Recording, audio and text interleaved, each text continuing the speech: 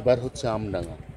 দেখতে পাওয়া যাচ্ছে যে যত লোকসভা ভোট এগোচ্ছে তৃণমূল কংগ্রেসের একের পর এক নেতা বিভিন্ন জায়গায় তারা খুন হচ্ছেন যে কারণেই হোক খুন হচ্ছেন। এবার কালকে উল্টে তৃণমূল বলেছে যে জয়নগরে সিপিএম নিজেদের কর্মীদের প্রোটেকশন দিতে পারেন। তাহলে কি এবার তৃণমূলের ক্ষেত্রে একই কথা খাটে যে তৃণমূল নিজের নেতাদের প্রোটেকশন দিতে পারছে না? প্রোটেকশন কে দেবে কাকে? এটা কি কোনো পার্টির কাজ নাকি?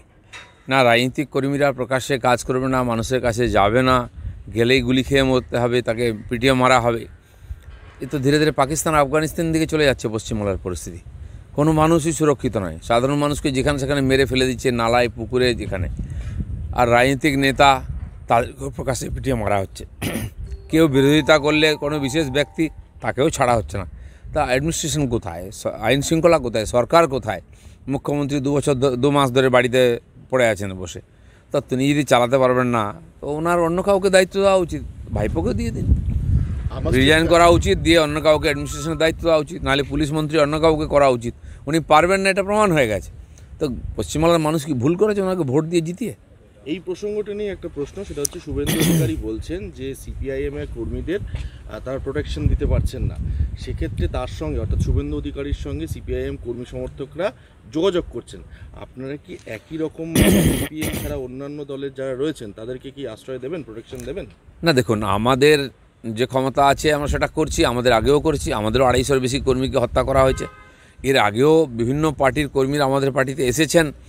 কিন্তু একটা সময়ের পরে সমাজে কি লোকে অস্ত্র নিয়ে নামবে, বিদ্রোহ করবে? পুলিশ কি করবে তাহলে? সরকার কি জন্য আছে?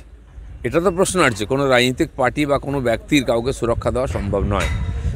পুলিশের অর্ধেক পুলিশ টিএমসির নেতাদের সুরক্ষা দিতে লাগিয়ে দেওয়া হয়েছে বাড়ি বাড়িতে। তারপরেও খুন হয়ে যাচ্ছে। ভাবুন আপনি কী অবস্থা তাহলে? তার মানে দুষ্কৃতকারীরা, সমাজবিরোধীরা দাপিয়ে বেড়াচ্ছে, তারা রাজনৈতিক সংরক্ষণ পাচ্ছে, তার ফলে এত সাহস হচ্ছে। এত খুন হয়, এত ধর্ষণ হয়, কটা লোক সাজা পায়? এফআইআরই হয় না চার্জশিটই হয় না। তার মানে ওরাই সরকারের সঙ্গে মিশে আছে পুলিশের সঙ্গে হাত মিলিয়ে এগুলো করছে। দাদা শেষ প্রশ্ন হচ্ছে মামা স্ট্রিট কাণ্ডে পোস্টমর্টেমের যে প্রাইমাফেসি রিপোর্ট তাতে বলা হচ্ছে এই ব্যক্তির ব্রেন টিউমার ছিল এবং তিনি ইন্টারোগেশন বা হোয়াট যে প্রসিডিওর সেটা চলাকালীন উনি সেন্সলেস হয়ে যান এবং তারপর ওনার ইন্ট্রোগেশন মানে কি ডান্ডা দিয়ে মাথায় মারা?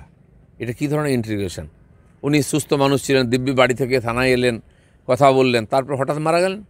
যদি ব্রেন টিউমার থাকেই পুলিশ কি ডাকতেন নাকি? আগে বুঝতে পারেনি ও নিজে বুঝতে পারেন তার সমস্যা।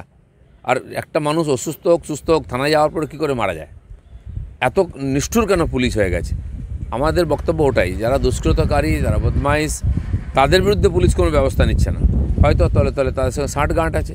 আর সাধারণ মানুষ তাদের সঙ্গে এই ধরনের ক্রুর ব্যবহার, এমন রীতিমতো হত্যা করা হচ্ছে, এ তো কল্পনা করা যায় না, কোন সভ্য সমাজে এরকম হয় না।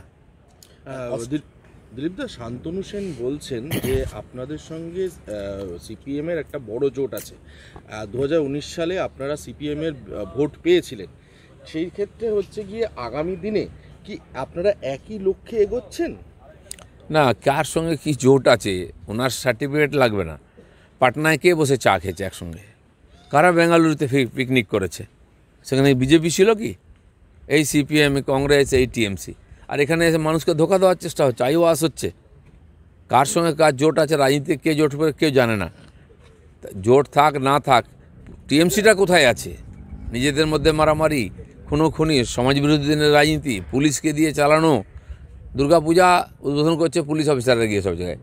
না এমএলএ না না পার্টির নেতারা কেউ নাই। মুখ্যমন্ত্রী করতেন, তিনি নাই তো পুলিশ অফিসারের নেতা এখন। পার্টি, তারাই টাকা তুলে দেন, তারাই কমিটি করে দেন, তারা সুরক্ষা দেন, তারাই পার্টি চালাচ্ছেন। এটা কোনো পার্টি হতে পারে?